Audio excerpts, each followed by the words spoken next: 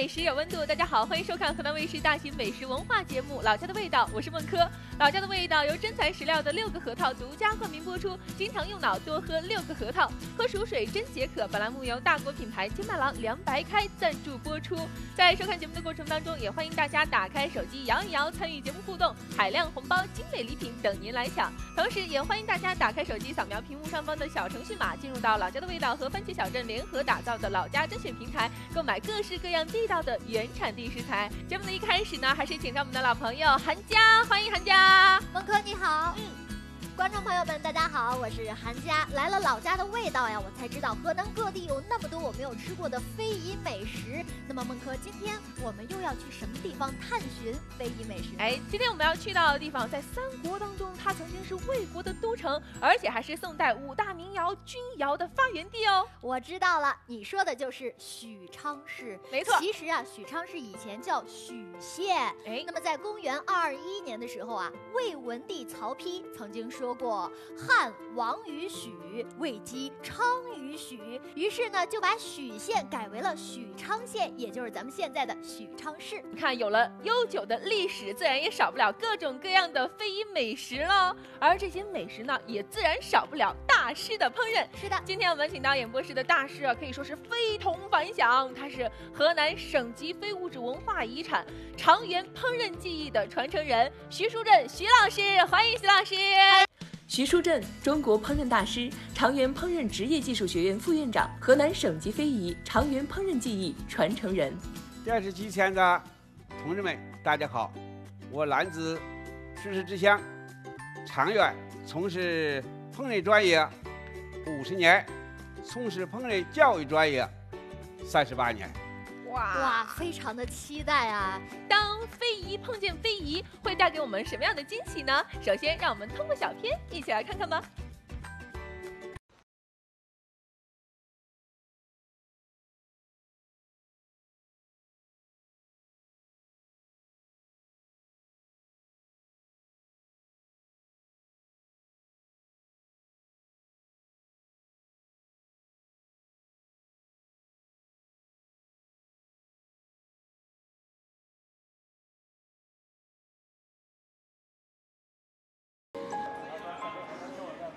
在外地都想着家的羊肉汤，得劲，好喝好喝，好喝。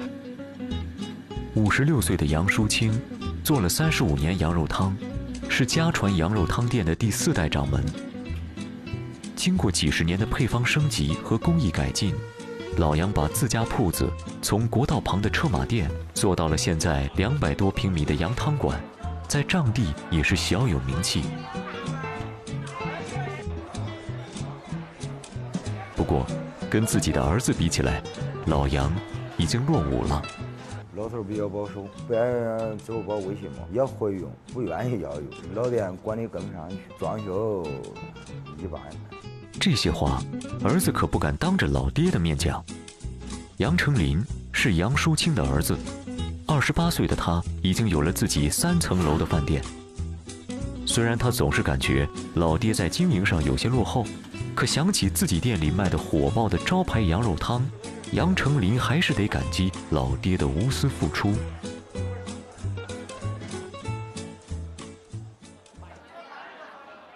杨家汤馆的羊肉汤好喝，可不单靠香料撑的台面，地道的优质食材才是成就一碗好汤的关键。这种附近乡村的散养绵羊。逐草迁徙，运动量大，有着非常细嫩的肉质。在人均耕地只有一亩三分的中原农村，这种原生态的散养放牧十分难得。再出来了，给打个电话，来个挑人点儿，挑人点儿好，肉质好的。一般出来都在多长时间了？十月也最最好的。老杨家处理羊肉的方法。直接干脆，将剔过骨头的生羊肉分切成四份，揉扯成团，打包入冷库冻上两天，便于保鲜和存储。在羊肉还没有完全解冻前，迅速切成薄片，只有这样，羊肉才有最好的卖相。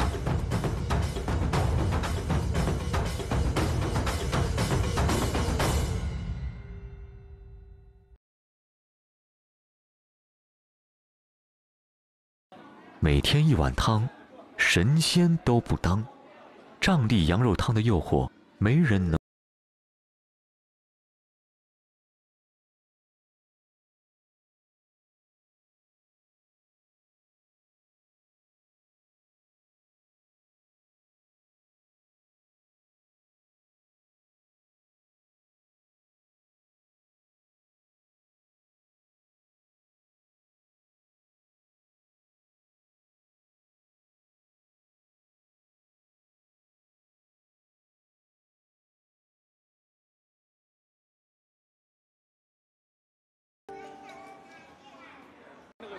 原来在老店干了服务员刷碗的，那过来一样黑手，临走不搁这干了，吃了白怕。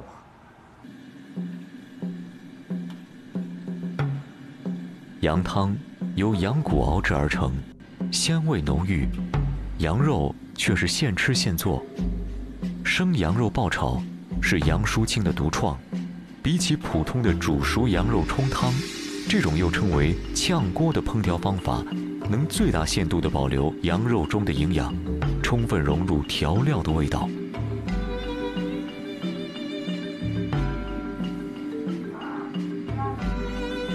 羊肉炒至八成熟，加入骨汤炖煮。小葱的加入会使羊肉汤更富层次，辛辣刺激的葱花味道中和了残存的油腻。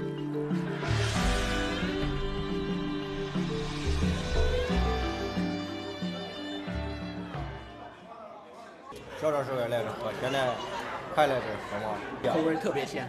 呃，介绍过来，他说这地方味道还不错，我们就过来尝尝，就是这样的。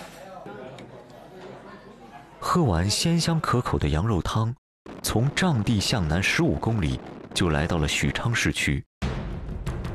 这座三国时期的曹魏都城，不只有小说里的群雄割据、军阀火拼，还有魏晋风度熏陶出的独特味道。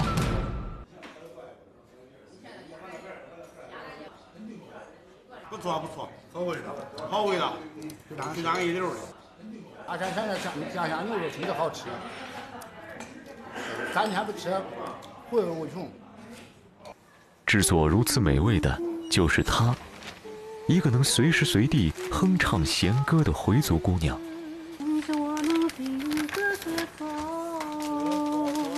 渭城朝雨浥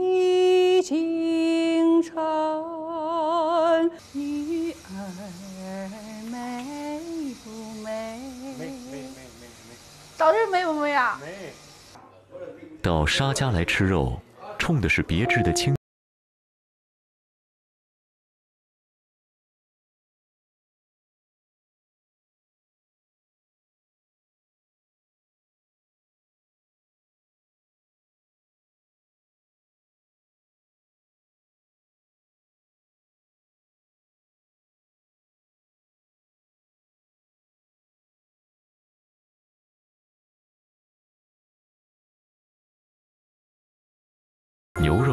要先清洗去除血渍，为了便于入味，肉厚的地方还要划上几刀。食材的处理简单质朴，花椒和盐是仅有的腌制调料。用盐和花椒来腌，这样的话，它那个肉的是一个醇香的味道。肉下到缸里，只是繁琐过程的开始。为了使盐分均匀渗入，每隔一个钟头的翻缸，可不容偷懒。他会他会神奇的，肉也会神奇啊。煮肉的配料是沙家牛肉的灵魂，相比于腌制时的调料要复杂许多。二十余种香料如何配比，是祖上传下的财富，只有沙闪清楚其中的奥妙。相比冬季，夏天的牛肉消耗量不大。可每天仍至少要煮上一锅。这一块肉漂亮。将腌制了三天的牛肉下进循环使用的老汤里，猛火煮上两个小时。为了使牛肉更加细嫩入味，之后还要改小火慢炖十个钟头。嗯，每天四点多都要起床，每一天都是这种体力活。干活的时候，我给俺老公唱歌，他也爱听，然后我也爱唱。自从五年前接触了弦歌古乐，沙闪便爱得一发不可收拾。离开了肉案子，他就成了抚琴调筝的演奏家。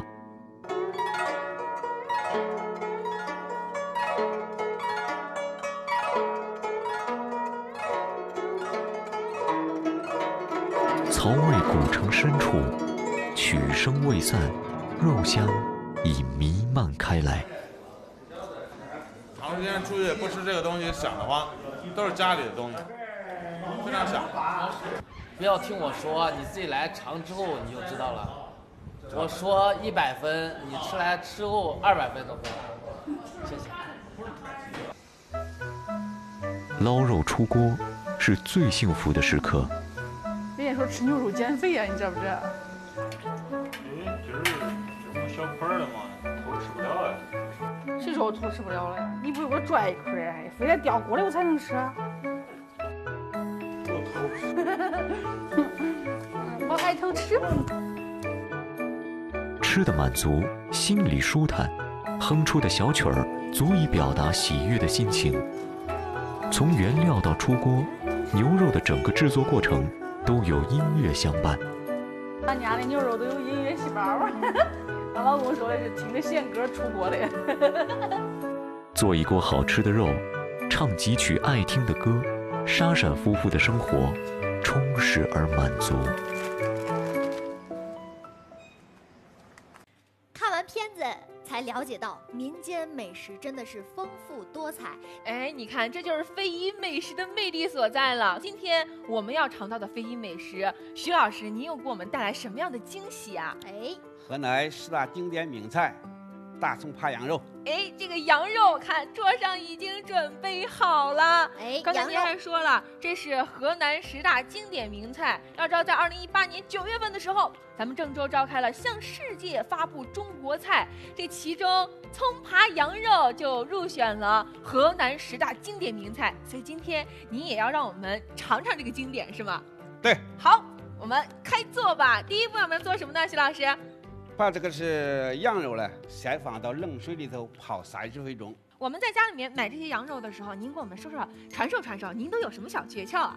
这个做盘羊肉的时候呢，嗯、一般所用是羊的前腿儿或者后腿儿。好，那这个部位的羊肉怎么样判断它的品质是好是坏呢？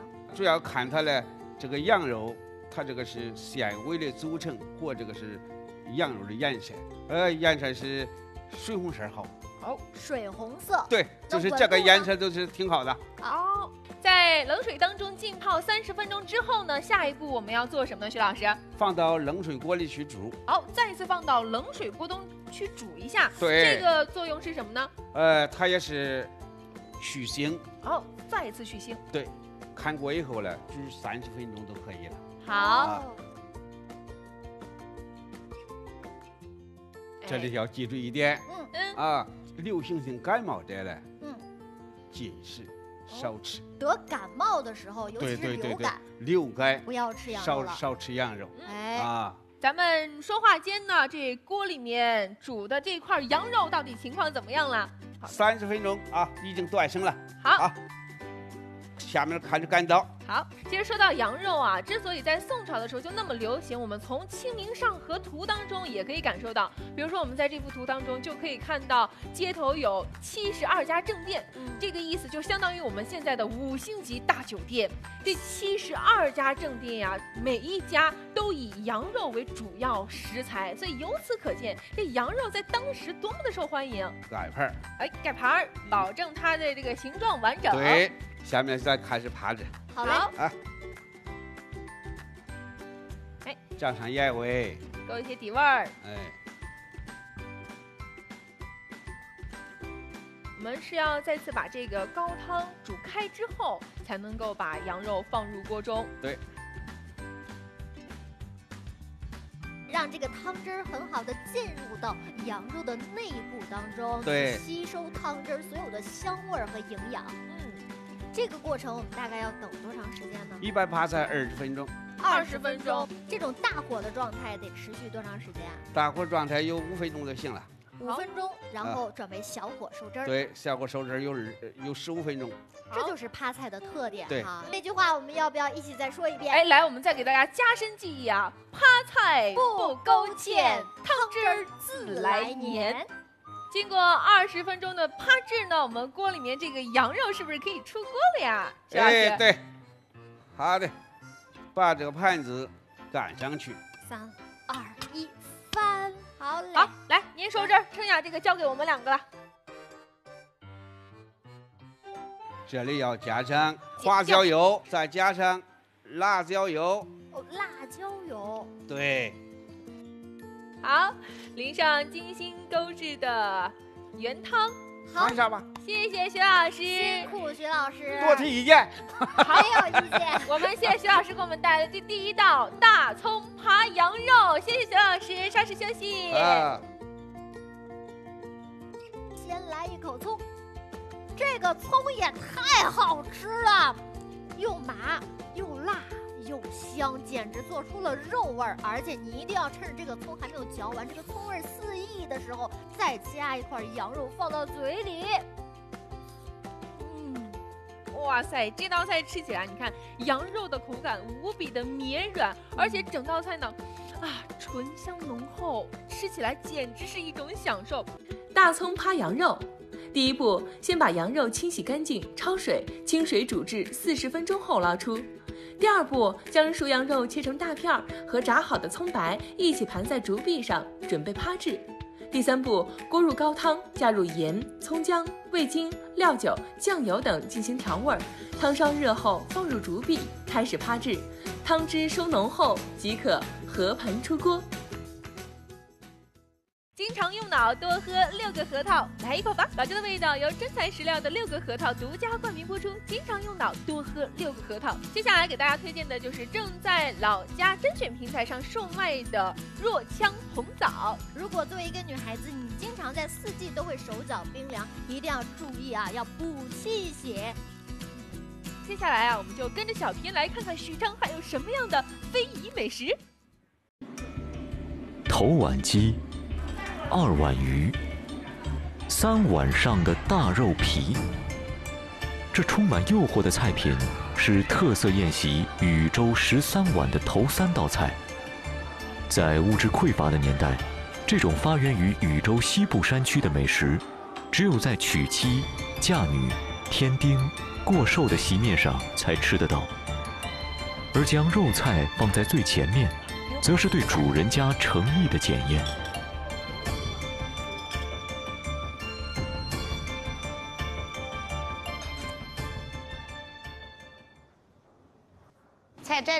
的啥样了？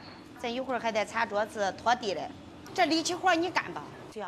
李慧丽，禹州十三碗主题餐厅老板。为了保持十三碗最本真的味道，十几年来，他的店里从来没有更改过菜品。头碗鸡，二碗鱼，大肉皮，单听这席面的头三道菜名，就足以令人唾液腺亢奋。可如果你是外地人，来禹州头一次品尝十三碗，那么这第一口下肚后，肯定会是满腹狐疑。鸡非鸡，鱼非鱼，是十三碗绵延了四百多年的特色。可这没鸡没鱼的席面，怎么会跟鸡和鱼扯上瓜葛呢？过去呢都是条件不好，带开的都是买点肉，甚至都是买点肥肉回家。练练练成油炒菜，他都更别说就是鸡子了。二碗鱼嘞，就是那面做了一个小鱼那形状呀。十三碗的头碗鸡，主料是带有里脊肉的猪排骨，在高汤中煮过后，与鸡蛋拌匀入油锅炸。热油能很快将排骨炸透，但高温也同时造成食物迅速失水。此时，蒸制。是让肉质重回水嫩丝滑的最好方法。头碗以带有里脊肉的排骨代替鸡肉，取两个字的谐音，对习惯讨口彩的中国人来说，有吉祥如意的寓意。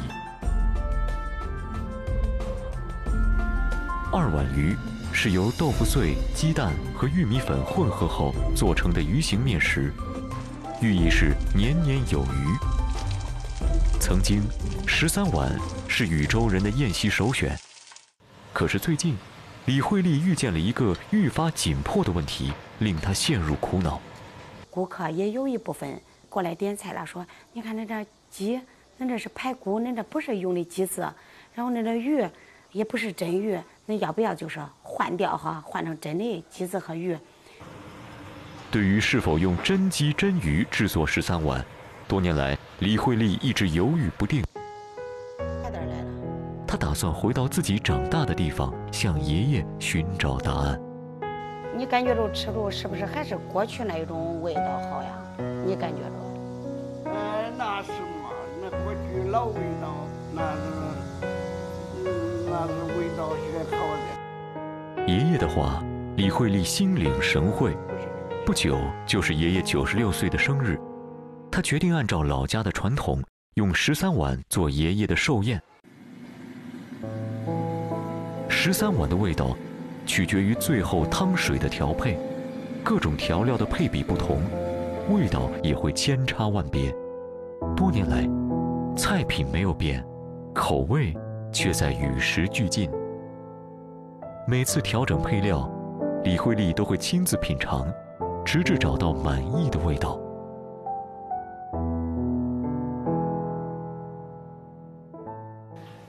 肉都炸掉了，炸完了。大姐，这馍是不是晾的差不多了？今个炸的有加油丸子吗？有，刚炸好。为了中午的寿宴，店里整个忙了起来。十三碗的主料是。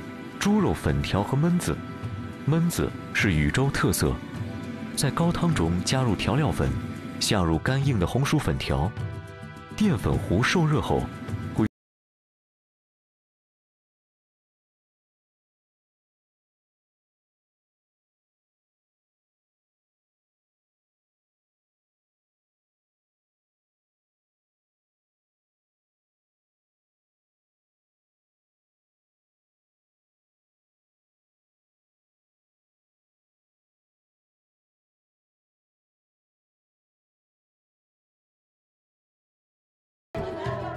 第四碗酸菜就是，比方男方和女方见面了嘛，都是哎呀，吃了这酸菜都是定住了，算事儿了。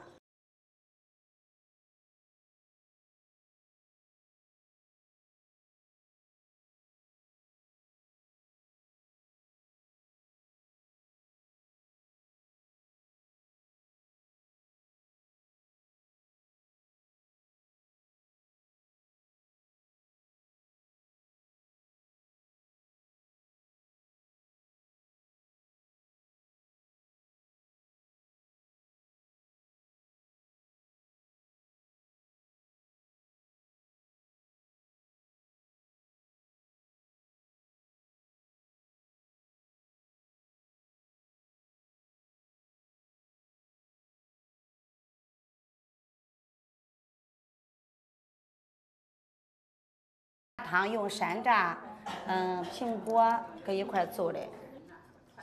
爷，你看这跟以前的做法一样不一样？跟那老的做法差不多。差不多。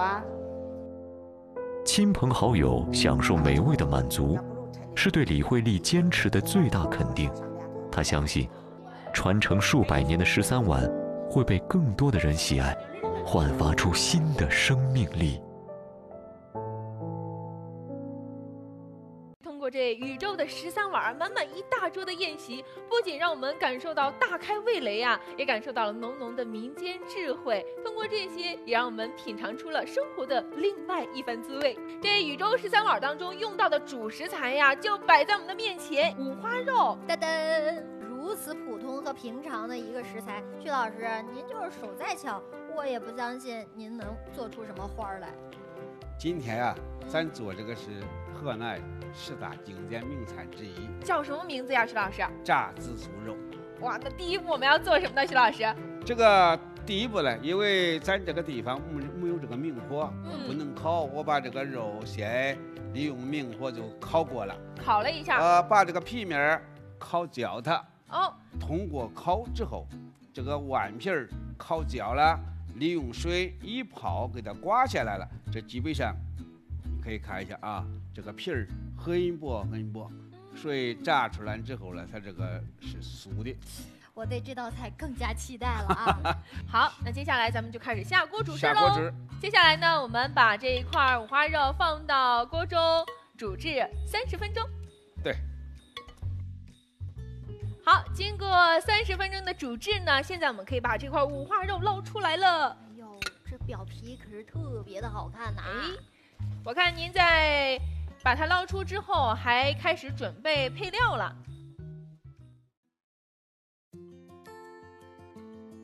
下面上笼蒸。蒸锅已经准备好喽。好，谢谢啦。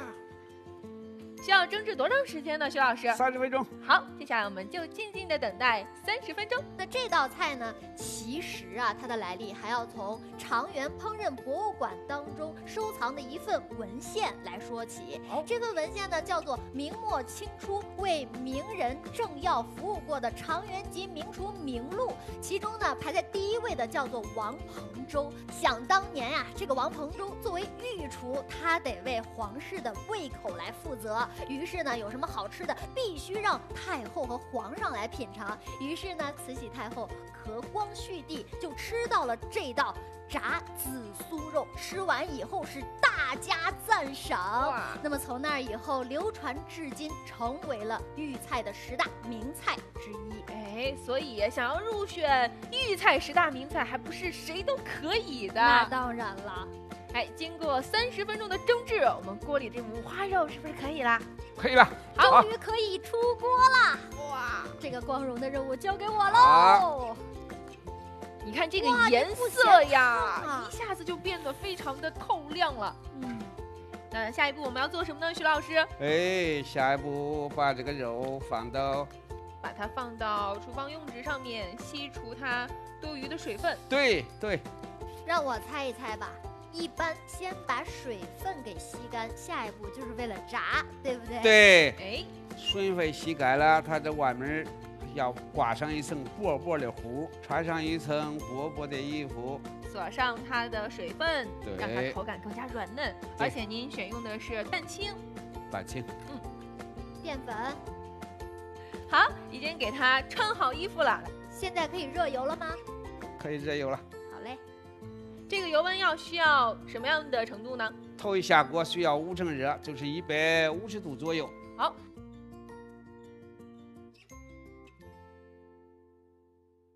好，第一次炸制，按照今天的这块五花肉为例，大家记住了，要十分钟的时间。颜色要达到是这个柿黄色的时候，也就是柿黄色哦，跟那个柿子的颜色，嗯嗯，那个黄色的时候，然后我们再采用是重炸的法儿，也就复炸。第二次去炸的时候呢，为了叫它表面更酥，哎，啊，还得用点醋，哦，白白醋。哦，你看这个醋啊，一放到这一块五花肉上面，就发出噼里啪啦的声音。好的，哎，待到这个油温达到咱们徐老师要求的六七成热的时候，油面开始翻花的时候，再一次把这五花肉放入到油锅当中，开始二次复炸。是的，在这儿呢也有一个炸肉的小诀窍，就是今天呢我们炸这块五花肉硬五花的时候，采取的是二次复炸。那么在炸之前，第一遍我们上了一层姜，第二遍我们上了一层醋，目的就是更加的酥脆，让它的口感更加神似烤鸭而远超烤鸭。简单控油，放到案板上开始改刀。对，太香了！哎呦哎呦哎呦，既有韧性，又非常的焦脆。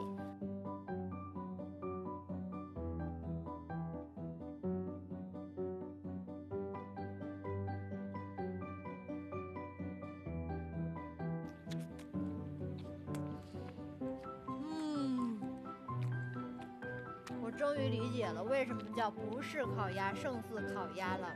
它比烤鸭的这个质感呢要更加细腻和细滑，因为里面呢有猪肉的这个肥肉的部分们经过炸制呢，基本上已经可以融化在嘴里面了。这个肉吃起来外焦里嫩，肥而不腻，而且搭配上这些配套，吃起来口感非常的多元化。是的，我觉得这道菜啊一定要被评为经典豫菜必吃不吃后悔系列之 Number One。炸紫苏肉，第一步，将五花烧皮洗净，放入清水中煮至熟透后捞出。第二步，将五花肉与葱姜、花椒、料酒、酱油等拌制均匀，上笼蒸至三十分钟。第三步，将五花肉挂蛋清糊，油温五成热时进行第一次炸制，表皮发酥时捞出，撒上白醋进行第二次炸制，肉呈紫红色时即可捞出切片，盛盘享用。喝口水解解腻，也让我们解解渴。这个环节呢，要给大家推荐的是我们老家甄选平台正在售卖的温县垆土山药制作而成的山药碎片哟。如果你的脾胃比较虚弱，身体呢经常感觉没有力量的话，一定要多吃山药。哎，这是用地道的温县卤土山药，十五秒钟低温恒油炸制而成，非常的健康，一款即食美味健康零食必不可少哟。所以大家还等什么呢？赶紧开始扫码下单购买吧！现在扫。扫码进入，还有海量的红包随机发送，下单立减，赶紧开始买买买！刚才啊，这第一道菜，徐老师给我们带来了经典十大名菜之一的葱扒羊肉。这第二道菜，让我们品尝了不是烤鸭胜似烤鸭的炸紫苏肉。而第三道菜，徐老师又将带给我们什么样的惊喜呢？首先，让我们通过短片一起来看看。每年的五到八月。位于商丘北部的黄河故道变成了绿色的海洋。这片摇曳生姿的水草，滋养着一种野生的食材——野生鲫鱼。它是制作商丘特色名吃陈家糟鱼的最佳原料。清新的环境，新鲜的空气。让陈川和妻子有种脚踩土地、头顶蓝天的踏实感。处理干净的鲫鱼，开始下一道工序——晾晒。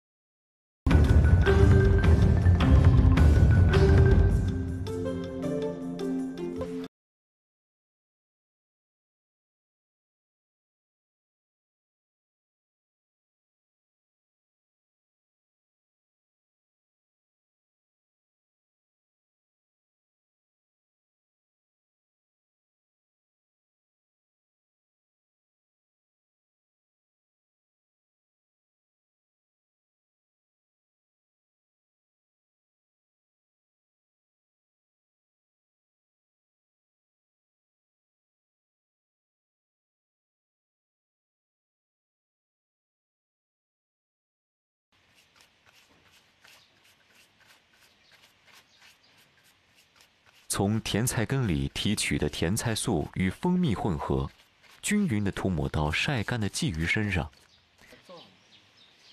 红色的东西就是起标标记作用。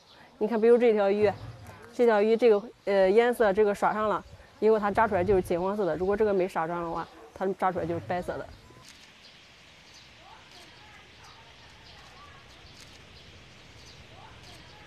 短暂晾晒后，开始油炸。当地做糟鱼分为油糟和水糟，但油糟是最传统的做法，不仅可以去腥，还能将蜂蜜的香甜锁在鱼肉上，鱼皮变为金黄色就可以捞出。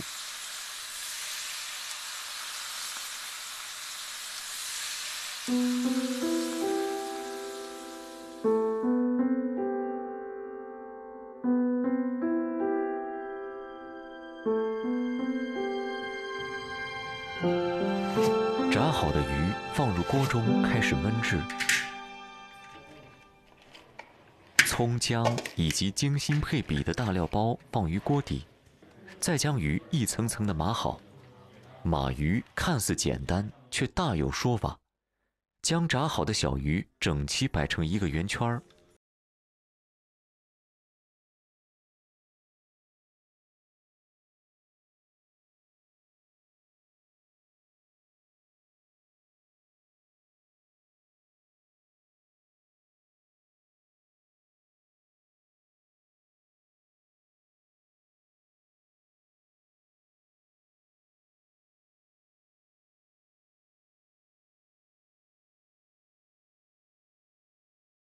那那照那说哎，也悬嘞。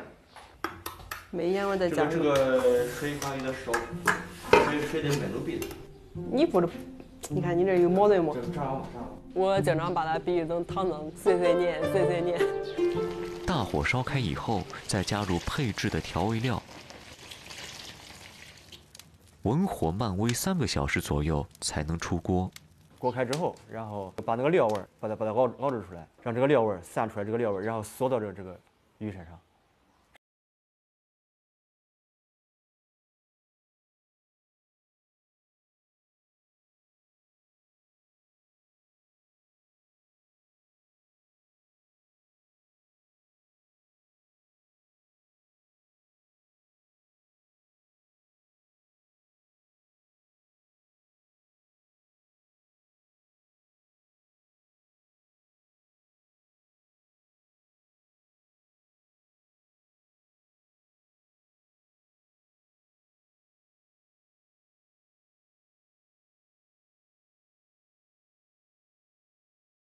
吃完之后，满口都是鱼香。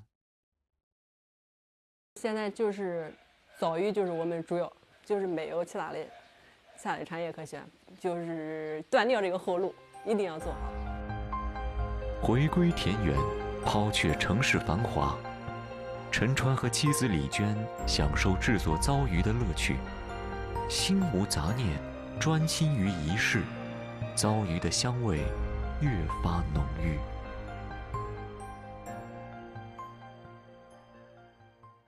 其实看了这个短片啊，我们非常的有感触，特别感谢像陈川这样的年轻人，为了更好的传承非遗技艺，放弃了很多。我们也谢谢他们做出的努力和付出。相信我们的非遗美食在年轻人的手中也能焕发出新的活力。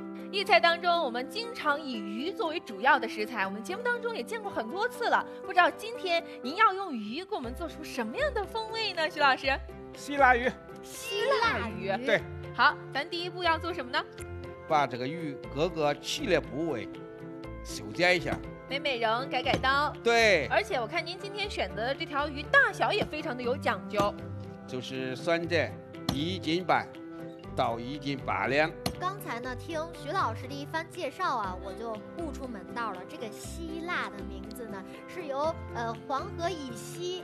呃，那些地区的辣味儿融合到了咱们这道菜当中，所以叫希腊鱼。哎，作为河南南田本县东酸西辣都接见，所以外地来到河南吃饭，都能吃顺口，都能吃顺口。哎，它是一个中和味道。是的，今天这个菜更偏西边的口味一些，对，有些辣。说话间呢，你已经给这个鱼改完刀了，这个现在再开始煎。好，好。好，今天您选用的油还不一样，选用了猪油。对对对。为什么要选择猪油呢？它有什么样的优势呢？猪油煎出来这个汤汁儿呢，嗯，它比较鲜。哦。啊，它比这个植物油比那要好好一些。这个猪油啊，其实还有药用的价值，它可以补虚润燥，特别是在夏天吃猪油是非常有好处的。嗯。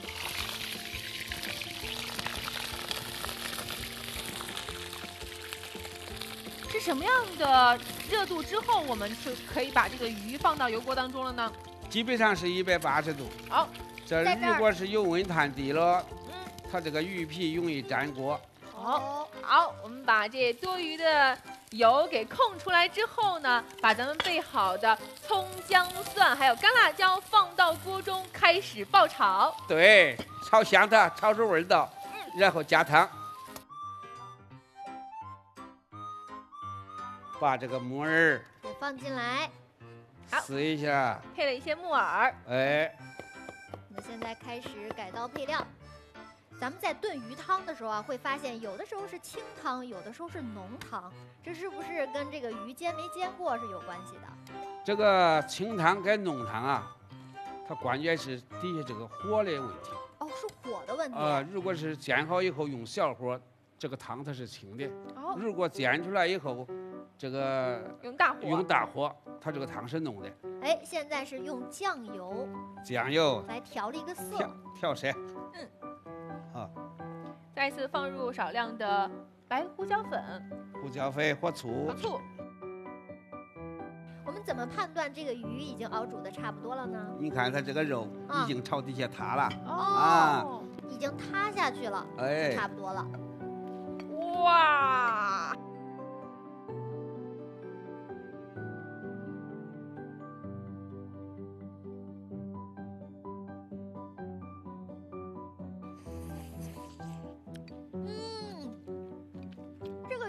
真的就一个字儿香，而且呢，虽说是希腊鱼，可是鱼肉却并没有那么的刺激和辛辣。